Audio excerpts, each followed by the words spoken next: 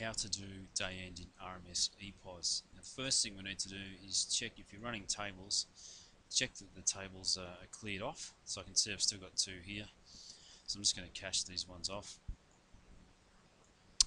Um,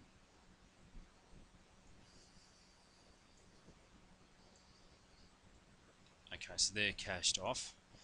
Um, if you're running multiple outlets, one thing to remember too is that with day end in EPOS, um, it's only done on one machine and it will close the accounting date for all venues. So if you're running multiple venues like here, you only do this on one machine. So it's usually the last outlet uh, that's operating that will do this. So firstly we'll, we'll hit the log off button in the right corner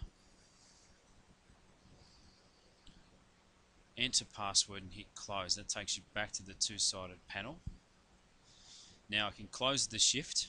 Um, when you open a new day, it will prompt you to open a new shift, so I can close this shift. Uh, enter any denominations there. Um, hit OK. I can see get a report for how much money is in this till, so I can print that off. And from here, I can now proceed to day end. You might want to run some reports as well uh, from Touch and you can do that in the reports tab. Click on SIP reports. The default report will be the group wise report. And if you want to separate it by outlet select the outlet from uh, the bottom left side panel here.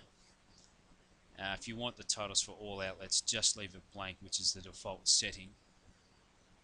So I click on show. I haven't done a lot here today but you can see uh, the food and beverage breakout and the quantities of each of those sales. And that can be useful for restocking fridges and that type of thing. Further down you've got a summary report and that'll give you um, just, just a basic breakdown, how many covers you did, uh, all your sales, cash, credit, etc.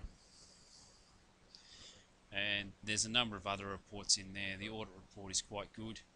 Um, you can do a breakfast, lunch and dinner report uh, you can also do a, a user-wise uh, collection report to see who did what as far as um, sales goes. Uh, the collection reports are quite good too if you want a detailed breakout. So once you've done that, you can exit out of that screen, exit out of that screen, and click on the day end button.